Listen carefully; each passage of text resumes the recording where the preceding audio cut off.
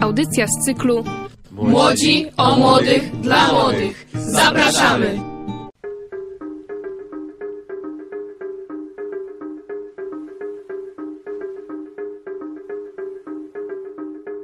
Witamy bardzo serdecznie wszystkich radiosłuchaczy katolickiego Radia Zamość na progu nowego roku szkolnego w kolejnej audycji z cyklu Młodzi o młodych dla młodych. Przygotowanych przez społeczność zespołu szkół imienia generała Józefa Kustronia w Lubaczowie. Dzisiaj przed mikrofonem zasiedli Karolina Zając, Patrycja Leszczawska, Aleksandra Janczura, Bartosz Lautenschläger, Gabriela Kulczycka, Oliwia Rozwód, Agnieszka Pietrasiewicz-Niedźwiecka, Anna Śliwa i prowadząca audycję Edyta Świstowicz-Mazur. Podczas dzisiejszego spotkania chcielibyśmy porozmawiać na temat wydarzeń, które mają miejsce w Zespole Szkół w Lubaczowie. Zaryzykuję stwierdzenie, iż wiele się u nas dzieje. Mam nadzieję, że moi rozmówcy poprą to twierdzenie przykładami. Na każdym kroku można zauważyć, że zarówno te młodsze, jak i starsze klasy aktywnie uczestniczą w życiu szkoły. Oczywiście wszelkimi przedsięwzięciami zajmują się również nauczyciele, którzy towarzyszą uczniom w tych zabiegach. I można powiedzieć, że bardzo istotną rolę w życiu szkoły odgrywają wszelkie projekty, programy stypendialne, które są tworzone przede wszystkim z myślą o naszych uczniach. Jest z nami dzisiaj pani Ania Śliwa, specjalista do spraw funduszy europejskich, ale także nauczyciel przedmiotów ekonomicznych. I bardzo byśmy prosili, aby w tej kwestii podzieliła się z nami wiadomościami. Witam bardzo serdecznie słuchaczy Radio Zamość. Mam nadzieję, że uda mi się przedstawić treściwie projekty, które są realizowane w naszym zespole szkół imienia generała Józefa Kustronia w Lubaczowie. Nie tylko projekty, ale również małe granty, które realizujemy przez Stowarzyszenie Rozwoju Zespołu Szkół imienia generała Józefa Kustronia, które właśnie powstało z myślą o uczniach oraz programy stypendialne. Chciałabym stwierdzić, że projekty realizowane mają na celu nie tylko taki wymiar edukacyjny, ale również podnoszenie właśnie takich umiejętności przedsiębiorczych, rozwoju osobistego uczniów oraz poznawanie nowych technologii przez uczniów naszej szkoły. Może o pierwszym projekcie Innowacyjne rozwiązania w systemie kształcenia zawodowego szansą na rynku w pracy powiecie lubaczowskim. Ten projekt już dobiega końca, dlatego że zaczął się w 2016 roku i trwa do końca września, ale myślę, że tutaj duży taki aspekt edukacyjny, dlatego że młodzież naszej szkoły zdobyła nowe umiejętności w postaci różnych kursów, szkoleń, a również poprzez staże u pracodawców poznali swoje umiejętności na rynku pracy. I taki właśnie też był cel tego projektu. Kolejnym projektem to Kreatywni Nauczyciele dla Innowacyjnej Gospodarki, który jest w ramach programu operacyjnego Wiedza, Edukacja i Rozwój. Celami projektu jest uczestnictwo ośmiu nauczycieli w szkoleniu Dynamiczne Nauczanie, ale tutaj nie będę zdradzała szczegóły, bo o tym projekcie opowie pani Agnieszka Pietrasiewicz-Niedźwiecka, więc żeby nie powtarzać, to ona szczegóły wszystkie tutaj omówi, bo jest uczestniczką tego projektu. Teraz od 1 lipca 2019 roku zaczynamy realizację projektu od kreatywności do innowacyjności, zawody przyszłości i projekt jest realizowany w partnerstwie z Fabryką Maszyn Lubaczów. W ramach właśnie Regionalnego Programu Operacyjnego Województwa Podkarpackiego, w ramach działania 9.4, poprawa jakości kształcenia zawodowego, projekt ma na celu wsparcia uczniów technikum mechanicznego w zawodzie operator obrębrek sterowanych numerycznie oraz szkoły branżowej pierwszego stopnia operator obrębrek skrawających poprzez uczestnictwo w szkoleniach i kursach oraz stażach u pracodawców. Myślę, że po zakończonym projekcie i takie są też zamierzenia partnerstwa, czyli fabryki maszyn, że uczniowie po zakończonym projekcie będą ich potencjalnymi pracownikami. Teraz dwa projekty, które realizowane są międzynarodowo, mobilni teraz, kreatywni w przyszłości. Ten projekt dopiero będzie właśnie się zaczynał od 1 października w ramach programu Erasmus, mobilność edukacyjna. I głównym celem projektu jest podniesienie kwalifikacji zawodowych uczestników i zapewnienie konkurencyjności na europejskim rynku pracy.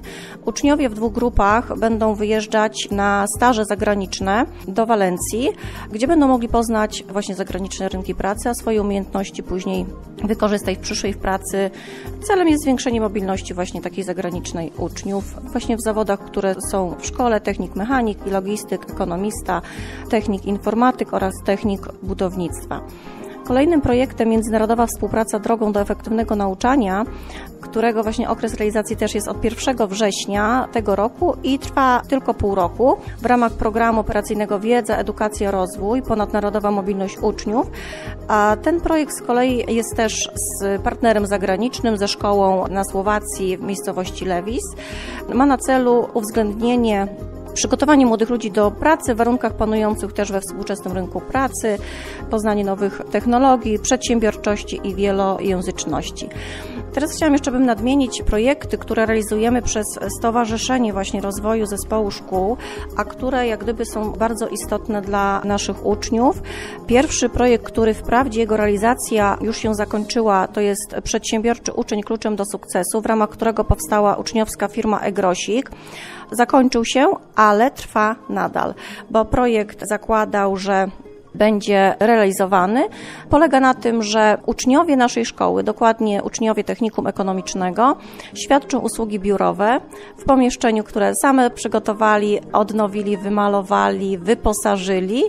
Z pieniędzy, które udało się pozyskać, w kwocie 10 tysięcy został zakupiony sprzęt komputerowy, biurowy, aby te usługi można było świadczyć dla społeczności szkolnej.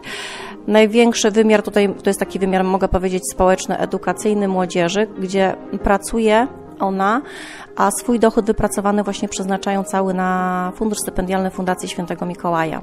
To są naprawdę fajne kwoty, gdzie później młodzież potrzebująca może ubiegać się w ramach właśnie tego programu stypendialnego.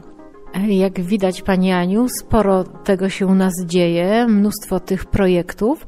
A jeszcze teraz chciałam zapytać o te programy stypendialne.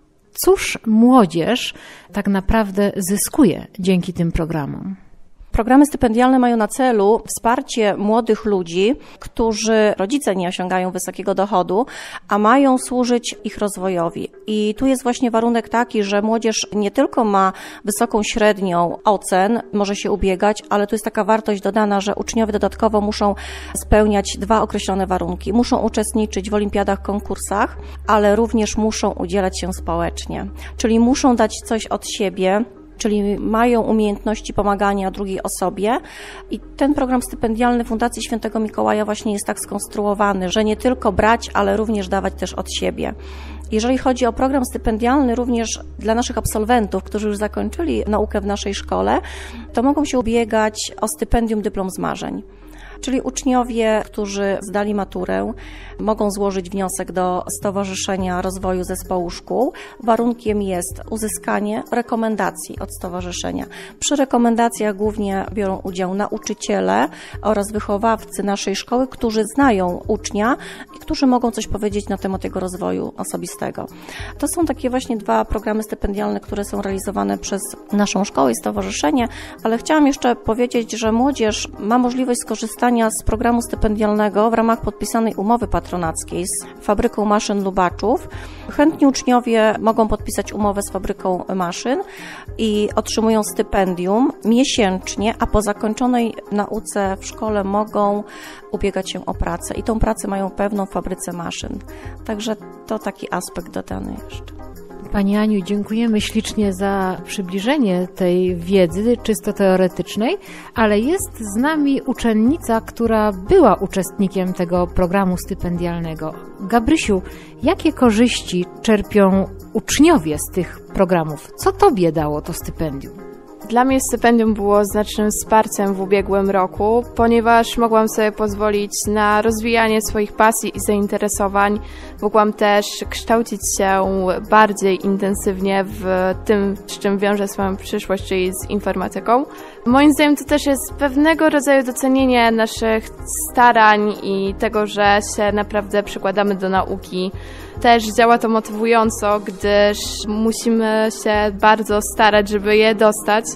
Więc zachęcam wszystkich do starania się, żeby osiągać jak najwyższe wyniki w nauce i jak najbardziej angażować się społecznie, żeby w kolejnym roku móc ubiegać się o któreś ze stypendiów w naszej szkole. To jeszcze nie koniec projektów. Tak jak pani Ania wcześniej wspomniała, jest z nami pani Agnieszka Pietrasiewicz-Niedźwiecka, którą serdecznie również witamy, nauczycielka języka angielskiego która rzeczywiście uczestniczyła podczas tegorocznych wakacji w projekcie Kreatywni Nauczyciele dla Innowacyjnej Gospodarki. Pani Agnieszko, czy może nam Pani zdradzić sekrety tej wyprawy szkoleniowej? Witam słuchaczy. Ja oczywiście bardzo chętnie opowiem o moich doświadczeniach, ponieważ udział w projekcie był bardzo wartościowym doświadczeniem zawodowym, ale nie tylko. To była również e, niesamowita przygoda. Tak jak było wspomniane, miałam to szczęście znaleźć się w ośmioosobowej grupie nauczycieli zespołu szkół. Spędziliśmy w Hiszpanii pięć dni w ramach szkolenia. Był to projekt Kreatywni Nauczyciele dla Innowacyjnej Gospodarki. Szkolenie o nazwie Dynamiczne Nauczanie. Cały projekt finansowany był z programu operacyjnego Wiedza, Edukacja, Rozwój w ramach ponadnarodowej mobilności kadry edukacji szkolnej. Samo szkolenie miało formę głównie warsztatową. Uczyliśmy się, jak wykorzystywać poznane metody, takie jak chociażby cykl Kolba, model Kurta Wapela w aktywnym nauczaniu. Zgłębialiśmy specyfikę każdej grupy, w tym grupy szkolnej. Badaliśmy typy osobowości, aby wykorzystać te role do nauczania w sposób dynamiczny. Te niekonwencjonalne metody nauczania oraz jak wykorzystywać ekspresję twórczą uczniów, to wszystko i dużo więcej tak naprawdę było przedmiotem naszego szkolenia, ale tak jak wspomniałam, nie tylko szkolenie, ale również bardzo ciekawy program kulturowy, w którym uczestniczyliśmy, jest wart tutaj wspomnienia. Mieliśmy możliwość zwiedzania najciekawszych zabytków Granady, w której mieszkaliśmy przez pięć dni. Między innymi zwiedzaliśmy Albaizin, to była najstarsza dzielnica, która jest wpisana na listę Światowego Dziedzictwa UNESCO. Zwiedzaliśmy Alhambra, również to jest taki zespół pałacowo-warowny, z całym kompleksem ogrodów, Sacramonte, dzielnicę, w której narodziło się flamenco. Oprócz tego zwiedzaliśmy niektóre atrakcje Andaluzji całej, między innymi Frigilianę, najpiękniejszą wioskę Costa del Sol, różne plaże Morza Śródziemnego. Także udział w projekcie to, tak jak mówię, nie tylko sama wartość edukacyjna, ale też zagraniczny wyjazd szkoleniowy stwarza możliwość spędzenia czasu w zupełnie innych okolicznościach, w innym otoczeniu, nawiązania kontaktów z profesjonalną kadrą szkoleniową. I tutaj moje ukłony dla firmy, która przygotowała dla nas szkolenie i rzeczywiście wykazali się ogromnym profesjonalizmem. Takich wrażeń, emocji nie jest się w stanie przeżyć we własnym kraju, więc zachęcamy wszystkich do udziału w projektach, pisania projektów własną rękę, wyszukiwania zagranicznych ofert edukacyjnych. Ja ufam, że udział w tym szkoleniu pomoże nam uatrakcyjnić naszą ofertę edukacyjną szkoły, a nowe doświadczenia przyczynią się do podniesienia jakości pracy szkoły. Jak widzimy, wykwalifikowana kadra tylko i wyłącznie urozmaici ten proces edukacyjny uczniów zespołu szkół. Proszę Państwa, projekty i stypendia to nie wszystko. W zespole szkół generała Kustronia w Lubaczowie można dostrzec wiele różnorodnych wydarzeń. Popatrzmy na to okiem przewodniczącej samorządu szkolnego. Oliwia, powiedz nam w skrócie o inicjatywach podejmowanych właśnie przez samorząd szkolny. Samorząd stara się działać bardzo aktywnie w zespole szkół. W tamtym roku bardzo przyjemną inicjatywą dla młodzieży było ustanowienie 13 dnia miesiąca dniem wolnym od pytania. Bardzo się to naszej młodzieży spodobało. Działamy również w akademiach szkolnych. Bardzo fajnym czasem jest przełom września-października, ponieważ wtedy uczniowie chętni oddają krew. Mamy również dni kolorowe, ustanawiamy je dniami koloru na przykład zielonego, w zależności od pory roku. W grudniu zawsze odwiedza naszą szkołę Mikołaj. Chętne klasy biorą udział w Mikołajkach, ale również w lutym działa u nas poczta walentynkowa. Tworzymy również debaty walentynkowe, na które zapraszamy młodzież z okolicznych szkół. Dziękujemy przewodniczącej za przybliżenie nam tego, co się dzieje. Myślę, że to jeszcze nie wszystko, bo przed nami dopiero początek roku szkolnego, ale zwróćmy uwagę na to, że wrzesień to dla społeczności naszej szkoły bardzo ważny miesiąc. I to nie tylko dlatego, że właśnie rozpoczyna się rok szkolny, ale przede wszystkim dlatego, iż mamy święto szkoły. W tym roku uroczystość odbyła się 13 września. Co prawda w roku ubiegłym świętowaliśmy 50. rocznicę nadania szkole imienia. Była wówczas z nami wnuczka generała pani Ewa Kustroń de Ramos, która przybyła do nas aż z Wenezueli. Pani Ewuniu, serdecznie panią pozdrawiamy. To dla nas ogromny zaszczyt, że była pani z nami w tym ważnym dla nas dniu. Co prawda to nie była pierwsza wizyta pani Ewy w naszej szkole. W tym roku z kolei obchodziliśmy 80. rocznicę śmierci patrona szkoły. I chciałam, kochani, zapytać Was, jak Wy, uczniowie klas drugich, trzecich, postrzegacie z perspektywy czasu ten jakże ważny dla całej społeczności szkolnej dzień, kiedy to uczniowie klas pierwszych składają ślubowanie, kończące się słowami: Chcemy być do Ciebie podobni generale. Co do ślubowania, to właśnie sama ślubowałam w zeszłym roku. Myślę, że dopiero wtedy tak naprawdę dociera do nas to, że zaczynamy nowy etap w naszym życiu. I właśnie wtedy daje się odczuć duch naszej szkoły, uświadamiamy sobie, że spoczywa na nas odpowiedzialność, obowiązek dumnego, godnego reprezentowania naszej szkoły w przyszłych latach nauki. Myślę, że ślubowanie pokazuje też, że fizycznie dołączamy do społeczności naszej szkoły i możemy się oficjalnie poczuć jej członkami i uczniami i możemy dumnie ją reprezentować. Ja chodzę do szkoły już prawie 3 lata i dopiero z biegiem czasu uświadomiłam sobie, jak ważne słowa wtedy wypowiadaliśmy i jaki to był ważny moment dla nas, ponieważ to było jakby rozpoczęcie drogi ku dorosłości. Jak sami widzicie i cieszę się, że o tym powiedzieliście tutaj głośno, święto szkoły jest bardzo ważnym wydarzeniem i myślę, że to dobrze, że jest ono obchodzone tak uroczyście. Ale to nie wszystko, co dzieje się w murach zespołu szkół. Myślę, że warto tutaj dodać, iż przygotowujemy biesiadę poetycką, która odbędzie się już niebawem, bo 26 września o godzinie 17 w naszym parku szkolnym, na którą już dzisiaj serdecznie zapraszamy wszystkich radiosłuchaczy. Tak jak Oliwia wspomniała wcześniej, ma miejsce w murach zespołu szkół debata walentynkowa. Są przeróżne projekty, programy stypendialne, działa Egrosik. Warto dodać też, że działa Radio Git już kilkanaście lat. Tutaj Bartek na przykład, który jest z nami, brał również udział w Narodowym Czytaniu i Patrycja braliśmy udział w tym przedsięwzięciu. Myślę, że na uwagę zasługuje również fakt, że z Katolickim Radiem Zamość współpracujemy już siódmy rok i dzięki temu nasi uczniowie mogą doskonalić warsztat młodego dziennikarza, także tutaj nasze ukłony w stronę pracowników radia. Myślę, że warto też powiedzieć, że 17 września miała miejsce prelekcja pana Tomasza Kuby Kozłowskiego z Domu Spotkań z Historią w ramach obchodów 80. rocznicy wybuchu II wojny światowej. Warto dodać, że w spotkaniu uczestniczyła nie tylko nasza szkoła, ale szkoły z całego powiatu. Kochani, powiedzcie mi, jak wy patrzycie na te wszelkie przedsięwzięcia, w których szkoła uczestniczy i które mają miejsce na terenie zespołu szkół? Myślę, że wszystkie uroczystości i wydarzenia, które odbywają się w naszej szkole, pozwalają nam spojrzeć na szkołę pod innymi aspektami i spojrzeć na naszą edukację w inny sposób. Możemy się szeroko rozwijać przez wydarzenia, które są organizowane w szkole, przez właśnie różnego rodzaju projekty, w których ja sama brałam udział, ale także szkoła pozwala nam rozwijać nasze pasje. Można też zgrać razem z nią douczanie się pod okiem wykwalifikowanego instruktora z Miejskiego Domu Kultury, a także uczestniczyć w różnych wydarzeniach w szkole, takich jak apele, różnego rodzaju wydarzenia, które pozwalają mi na przykład spełniać się artystycznie, na przykład tak jak biesiada teatralna, która odbędzie się już niedługo, której szczerze osobiście nie mogę się doczekać. Jeszcze raz wszystkich zapraszam. A oprócz tego nasza szkoła współpracuje również z Młodzieżową Radą Miasta i pozwala młodzieży tworzyć różne obszary i wydarzenia, w których możemy się spełniać.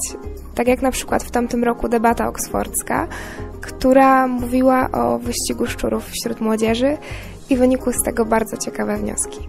Widzimy, że wszystko to, co robimy, jest z myślą o młodzieży i dla młodzieży. Kochani, udział w różnorodnych konkursach. Olu, na przykład ty brałaś udział niejednokrotnie. Co ci to dało? W zeszłym roku uczestniczyłam w konkursie na najlepszy esej i dopiero w tym momencie edukacji nauczyłam się, jak poprawnie pisać. Wydaje mi się, że udało mi się odnieść sukces, bo byłam na województwie. Gdyby nie szkoła, chyba nie nauczyłabym się, jak tworzyć, pisać. Mogę pracować w radiu, gdzie również możemy tworzyć audycje. Szkoła pozwala rozwijać się humanistom i ścisłowcom. To dobrze, że potraficie wskazać to, co się dzieje. Bartek, a jakie są Twoje spostrzeżenia? Ty jesteś uczniem klasy drugiej, więc jak Ty patrzysz na to męskim okiem? Uważam, że szkoła, do której właśnie chodzę, ma bardzo ciekawe przedsięwzięcia z różnymi państwami. Na przykład w ubiegłym roku mieliśmy okazję prowadzić rozmowy online z uczniami z Kenii. Było to w lutym, marcu i kwietniu. Ale nim to przeprowadzaliśmy, wysyłaliśmy im swoje listy opowiadające o rodzinie, sposobie życia i naszym otoczeniu. W tamtym roku także przyjechali do nas uczniowie z trzech różnych krajów, którzy byli bardzo gorąco powitani w naszej szkole. W zespole szkół, oprócz różnorodnych prelekcji, odczytów, ale też biesiad, akademii, oprócz grantów, programów stypendialnych, działa również szkolny wolontariat i szkolne koło Caritas. Można powiedzieć całkiem śmiało, że wielu uczniów z taką wielką ochotą angażuje się w działalność tych kół. Przez trzy lata pracowałam z panią Dral w wolontariacie i mogliśmy dzięki temu spędzać czas z dziećmi, które są chore. Organizowaliśmy im Mikołajki i zabawy choinkowe i Andrzejkową. Popołudniami mogliśmy się z nimi bawić i pomagać im się uczyć. Widzimy, że to wymaga od naszych uczniów nie lada odwagi, ale też takiego umiejętnego pogodzenia wolnego czasu z nauką. Jest tego sporo i każdy może znaleźć coś dla siebie. Każdy uczeń, jeżeli tylko chce, uczestniczy w wielu zajęciach pozalekcyjnych. Dopiero początek roku szkolnego, więc te wszelkie inicjatywy są podejmowane, uruchomiane na nowo ale tak jak mówię, zachęcamy tutaj wszystkich pierwszoklasistów do tego, żeby szukali odpowiedniej dla siebie drogi. Możliwości jest mnóstwo. Zachęcamy wszystkich, którzy chcieliby spróbować swoich sił przed mikrofonem, również czy to do szkolnego radiowęzła, a następnie do wyjazdu do katolickiego Radia Zamość, żeby sprawdzić się w roli początkującego dziennikarza. Myślę, że to wszystko jest na pewno miłym i ciekawym dodatkiem do naszej szkolnej codzienności, dzięki któremu dokształcamy się w bardziej kreatywny sposób. Jest tego sporo, ale to wszystko z myślą o naszych podopiecznych. A teraz zapraszamy na przerywnik muzyczny. Pytasz mnie, co właściwie cię tu trzyma?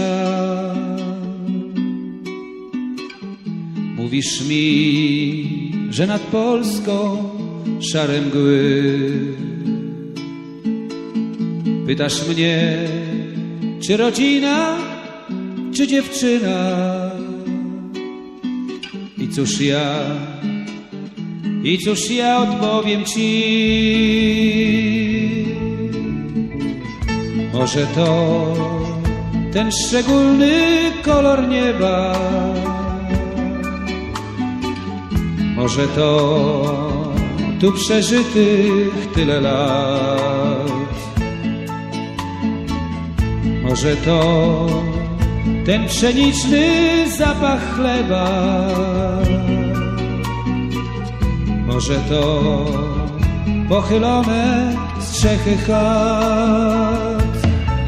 Może to przeznaczenie zapisane w gwiazdach może przed domem ten wiosenny zapach bzów. Może bociany, co wracają tu do gniazda. Coś, co każe im powracać tu.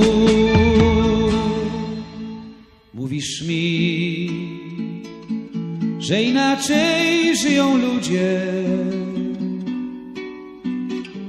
Mówisz mi, że gdzieś ludzie żyją lżej. Mówisz mi, krótki sierpień, długi grudzień. Mówisz mi, długie noce, krótkie dnie. Mówisz mi, słuchaj stary, jedno życie. Mówisz mi, spakuj rzeczy, wyjedź stąd. Mówisz mi, wstań i spakuj się o świcie. Czy to warto tak pod górę, tak pod prąd? Może to przeznaczenie zapisane w gwiazdach. Może przed domem ten wiosenny zapach bzów. Może bociany, co wracają tu do gniazda. Coś, co każe im powracać tu. Może to zapomniana dawno gdzieś muzyka. Może melodia, która w sercu cicho brzmi. Może mazurki, może walce Fryderyka. Może nadzieja do czekania lepszych dni. Może to zapomniana dawno gdzieś muzyka. Może melodia, która w sercu cicho brzmi. Może mazurki, może walce Fryderyka. Może nadzieja dla ojczyzny lepszych dni.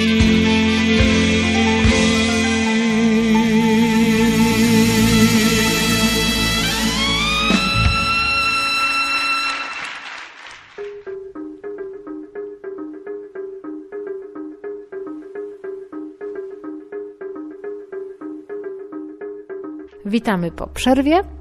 Przypomnijmy naszym słuchaczom, że dzisiaj rozmawiamy o tym, co dzieje się w murach zespołu szkół imienia generała Józefa Kustronia w Lubaczowie. Wiele się dzieje, to bardzo dobrze, że o tym mówicie.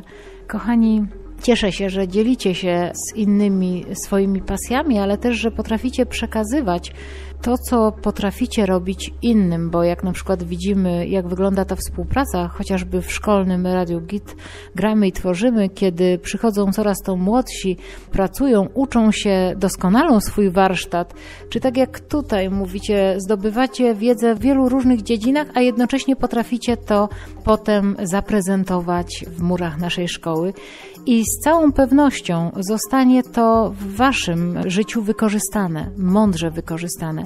Szkoła, jednym słowem, tak jak powiedzieliście, też daje Wam wiele możliwości. Trzeba umieć po prostu z tego korzystać. Moi kochani, dziękuję ślicznie, że chcieliście się z nami ale też z radiosłuchaczami podzielić swoimi spostrzeżeniami. Dziękuję bardzo pani Annie i pani Agnieszce za przybliżenie tych cennych informacji, które z całą pewnością zostaną wykorzystane przez młodzież. Chciałam jeszcze w tym miejscu powiedzieć, iż te programy stypendialne możemy realizować dzięki naszym darczyńcom, których w tym momencie serdecznie pozdrawiamy i którym bardzo gorąco dziękujemy. Gdyby nie Wy, na pewno młodzież nie mogłaby z tego tak bardzo korzystać. Tym akcentem żegnamy się z Państwem. Zapraszamy już teraz na październikową audycję, ale z tego miejsca też chcemy pozdrowić całą społeczność szkolną, zarówno dyrekcję, grono pedagogiczne, uczniów, zwłaszcza uczniów klas pierwszych, jak również pracowników niepedagogicznych. Dziękuję Państwu za uwagę, dziękuję Wam i do usłyszenia za miesiąc. Audycja z cyklu Młodzi o młodych dla młodych. Zapraszamy!